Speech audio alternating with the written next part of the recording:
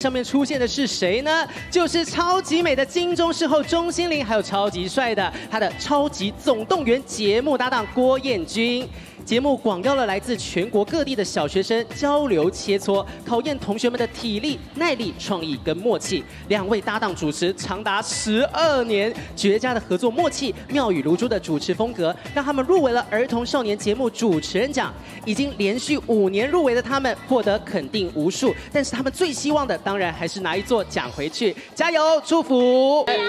心玲姐、彦君哥，啊今天不是婆婆是姐姐了哈。对，对，其实先问一下心灵姐姐，因为之前呢，其实健康状况的关系，好像曾经想过说要退出主持，要丢下你的搭档燕君哥。哇，那现在又再次入围，而且其实大家评价越来越好，有没有已经放下那个念头了呢？就其实很高兴，尤其他其实很有担当，因为我曾经说我太老了这样子，可能没有办法站那么久，他就说钟迅你就什么话都不要讲，你就站在那里当吉祥物就好了。我就生平第一次被当花瓶，觉得很开心。啊，可是结果你说你是花瓶，你讲的话也不少，其实也是很活泼啦。好，彦君哥，哎上礼拜才在广播金钟奖看到你颁奖，对你好像很想得奖。没呃入围当天那时候很紧张啊，想说到底会不会得奖？现在有没有呃放下一些心情了？呃，因为上个礼拜广播金钟有来颁奖，已经站到那台上去了，已经稍微预演了一下。哦今天上如果有机会的话，如果如果如果的话，就比较不会那么紧张。对。哦，也许真的今天有机会可以拿奖，大家一起让同学们看见你们的开心。好谢谢，好，谢谢两位，谢谢谢谢里面请祝福得奖。